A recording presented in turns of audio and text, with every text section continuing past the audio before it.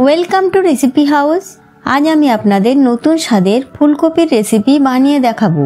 এই রান্নাটি বানাবার জন্য একটি কড়া গরম করে তাতে দিয়ে দেবো চল্লিশ থেকে পঞ্চাশ এম মতো তেল। তেল গরম হলে দিয়ে দেবো একটি মাঝারি সাইজ ছোট টুকরো করে কেটে রাখা ফুলকপি।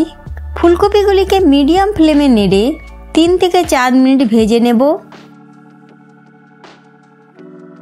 তিন থেকে চার মিনিট ভাজার পর ফুলকপিগুলির গায়ে হালকা দাগ ধরে ভাজা হয়ে এসেছে। এবার এগুলিকে তুলে নেব। এবার কড়ার গরম তেলে দিয়ে দেবো একটি মাঝারি সাইজ বড় করে কেটে রাখা পেঁয়াজ আর ক্যাপসিকাম। এগুলিকেও মিডিয়াম ফ্লেমে এক থেকে দু মিনিট নেড়ে ভেজে নেব। পেঁয়াজ আর ক্যাপসিকামগুলি হালকা ভাজা হয়ে এলে এগুলিকেও তুলে নেব। এবার রান্নাটি বানাবার জন্য গরম তেলে দিয়ে দেব হাফ চামচ গোটা জিরে। জিরেটি ভাজা হয়ে এলে দিয়ে দেব এক চামচ করে কুচিয়ে রাখা রসুন আর আদা। এগুলিকে নেড়ে হালকা লাল করে ভেজে নিতে হবে। এরপর এতে দিয়ে দেবো দুটি টুকরো করে কেটে রাখা কাঁচা লঙ্কা। লঙ্কাটিকে নেড়ে নিয়ে দিয়ে দেবো একটি বড় সাইজ টমেটো পিউরি। তারই সাথে দিয়ে দেবো পরিমাণ মতো নুন আর হাফ চামচ করে হলুদ গুঁড়ো, লঙ্কা গুঁড়ো, জিরে গুঁড়ো, ধনে গুঁড়ো, কাশ্মীরি লঙ্কা গুঁড়ো। গুঁড়ো মশলাগুলিকেও সব কিছুর সাথে নেড়ে কষে নেব যতক্ষণ না মশলা থেকে তেল ছাড়ছে। মশলা থেকে তেল ছাড়তে আরম্ভ করেছে। এবার এতে দিয়ে দেব হাফ চামচ করে গোলমরিচ গুঁড়ো আর কাসুরি মেথি।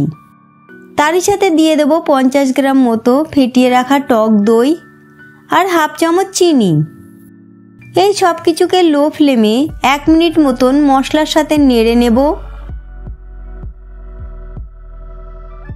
এক মিনিট পর এতে দিয়ে দেব ভেজে রাখা ফুলকপি ফুলকপিগুলিকে লো ফ্লেমেই মশলার সাথে এক থেকে দু মিনিট নেড়ে কষে নিতে হবে।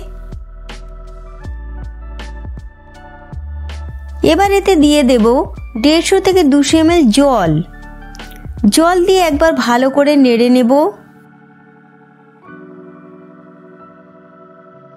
এবার তরকারিটি ফুটে উঠলে ভেজে রাখা পেঁয়াজ আর ক্যাপসিকামগুলিকে দিয়ে দেব। এগুলিকেও তরকারির সাথে নেড়ে মিশিয়ে নেব। এরপর এটিকে ঢাকা দিয়ে মিডিয়াম ফ্লেমে তিন থেকে চার মিনিট রান্না করে নেব।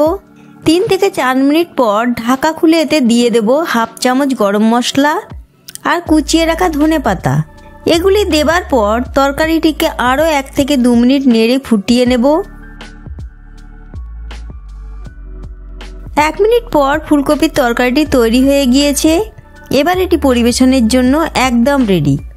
যদি আমার তৈরি রেসিপিটি আপনাদের ভালো লেগে থাকে, তাহলে ভিডিওটিকে লাইক এবং শেয়ার করবেন।